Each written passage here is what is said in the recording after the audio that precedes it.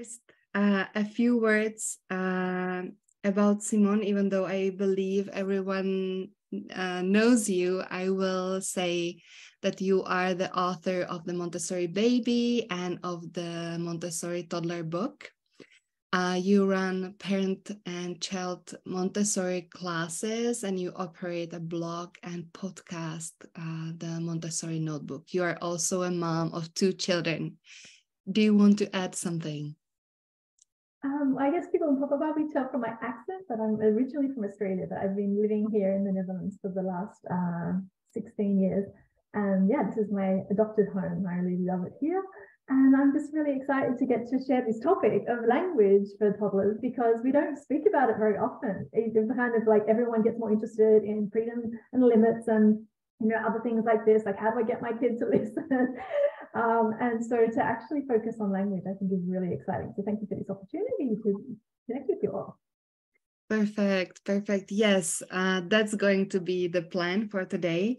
Within the first uh, 30, 40 minutes, uh, I would like to do this Q&A about language because originally this Q&A was uh, supposed to be part of our Montessori Beginnings course and uh, and Simone has recorded uh, a module about language. So this was supposed to be first um, only about language, but then we have decided to open this Q and A to everyone, and also to open it to other questions, uh, not only about language but about your toddlers and children. Uh, yeah, should I jump right into the questions that we have? Yeah, please do. Let's get started. uh, uh, I would also like to encourage you guys to uh, write down questions in the chat or later on we can also you can also you know mm, wave your hand um, virtually wave your hand i wouldn't see you if you would be really waving into the camera but uh, wave your uh, hand and uh, you can just say the question out loud on the video so I will start with the questions about language. Very often we do uh, get these questions where parents get worried, you know, like my child is already one and a half, two years old, and uh, he speaks only a few words or he doesn't speak at all. Uh, should I be worried? Usually is the um, you know is the question directly asked. Yeah, I think it's always a worry for families because I can say from personal experience, I have my two children are now 22 years old and 20, and this turns 21 next week. And um, when Oliver was small, he didn't have a lot of words. Um, he understood a lot. I knew that he was taking everything in, um, but then I went and like babysat for one of our friends, and her child was exactly the same age as Oliver, and he was speaking almost, it felt like in sentences. And I was thinking, oh, Oliver says so little. And for that moment, I had that little panic, I guess, like, oh, he's not developing in that right way. And then I realized actually this is a gift because if that's what Millie can say, this is what Oliver wishes he could say.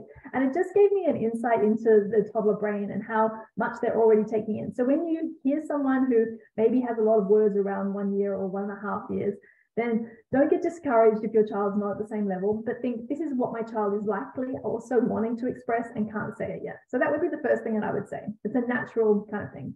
Then we love to put on our Montessori observation glasses to look at it really matter of fact, because sometimes we think they don't say anything. Um, and so it's nice to just objectively write down how they communicate. What nonverbal communication do they have? Um, what languages you have in your home? Which words they have in each language? Because if they've got more than one language, which might come up in some of our questions about raising bilingual or multilingual children, is that you might find that they have five words in this language and five words in this language, which doesn't sound like a lot overall, but that's still 10 words. And so it's the same as a child, a monolingual child of 10 words.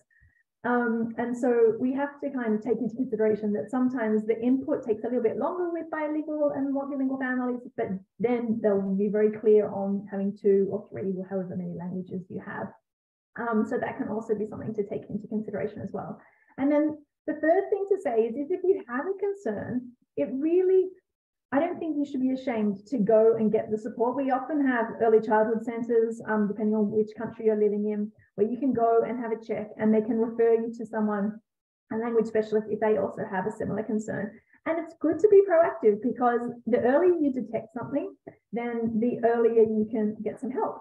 And otherwise, they just say, well, let me help you with this bit and this bit, and then you can go on your way. So it's not a problem to do that at all as well. So I think um, you need to have uh, like a speaking apparatus, you know, that works. So you could also check that the vocal things are working. You need a hearing apparatus that works. Um, and so you could get their ears checked, particularly if they've had a lot of ear infections and things like that. So they're two parts of the body. And I should say up front that we're talking mostly about um, children who can hear, um, who don't have um, a hearing deficit um, in today's workshop. Um, but it is definitely worth following dads like um, you've had um, Ashton as one of the talk, uh, talks in one of the conferences, Hi Lucy. Um, and so you can follow people like that to get more information about um, ASL and things like that if you'd like that kind of information.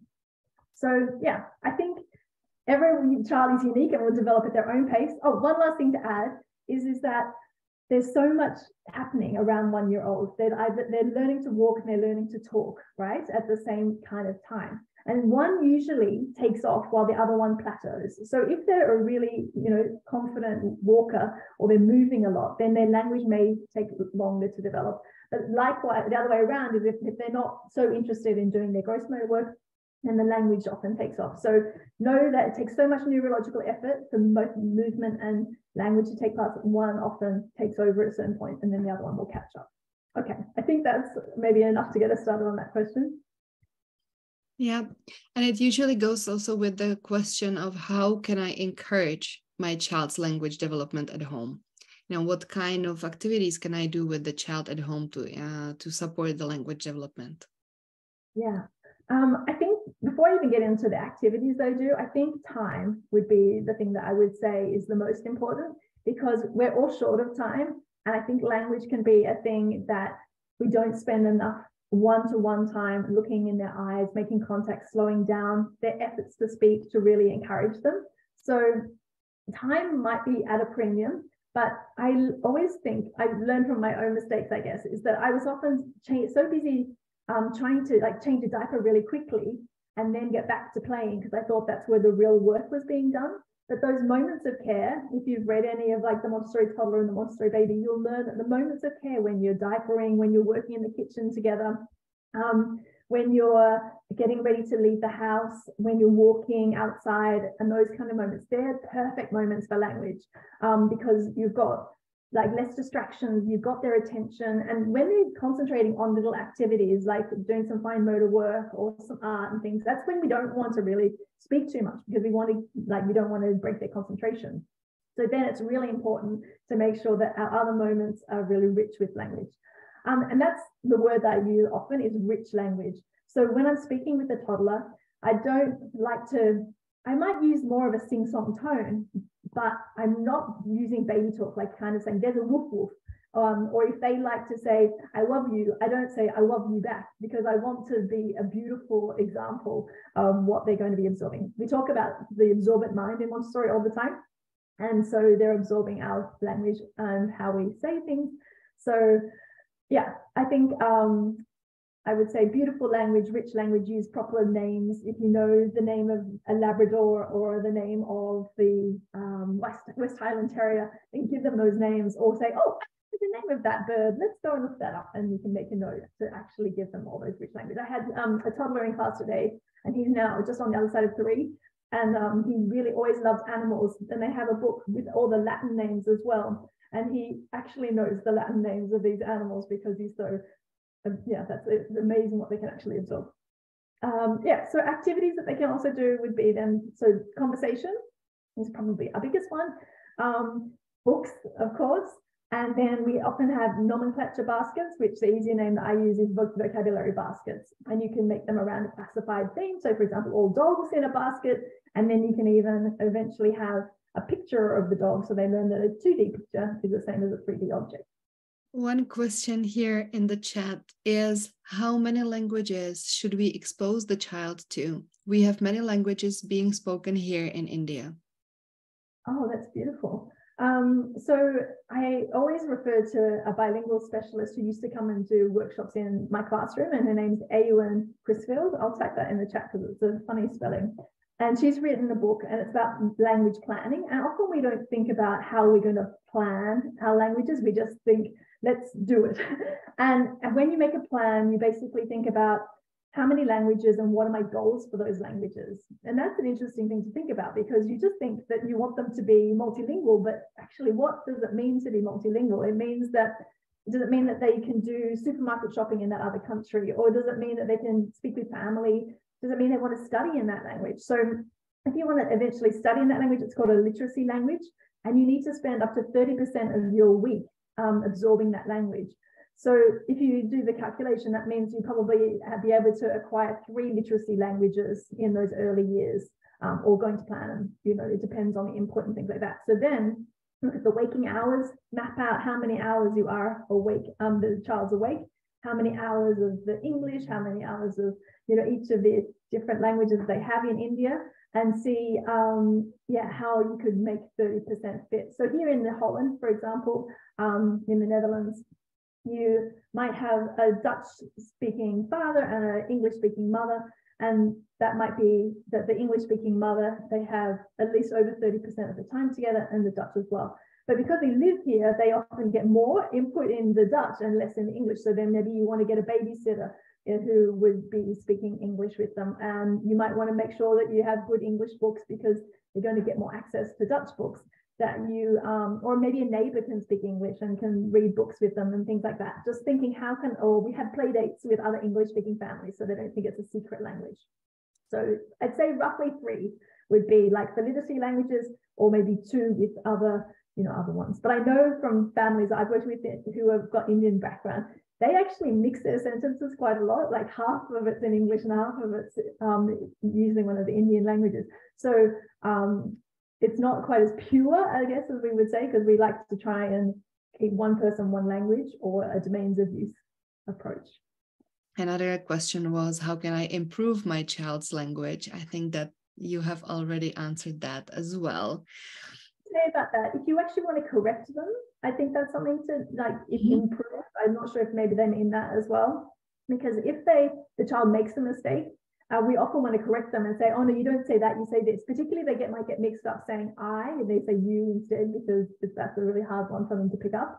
And instead in Montessori, we have a phrase that is teach by teaching, not by correcting. And so again, we're like observation. So we make a note, okay, they're mixing these ones up. And so then I'll teach it again at another time. So the other thing I like to do is if they say, um, mama go home, and I want to say, yeah, mama went home. And so I would just then conjugate it in the correct way in a sentence that's back. It's not saying, no, don't say go, you say went, you know, or anything like that. Or if they say um, tomorrow or yesterday, they just might mean any time in the past for yesterday and any time in the future. And I don't necessarily, I would just like use it correctly in the next sentence, but I wouldn't actually say, no, no, no, don't say that. And instead just keep modeling when um, until they pick it up from Christy. My daughter is bilingual. I would like to introduce the language materials in both languages. Mom is English and dad is Albanian. Should I introduce English first and then Albanian, for example, with the movable alphabet?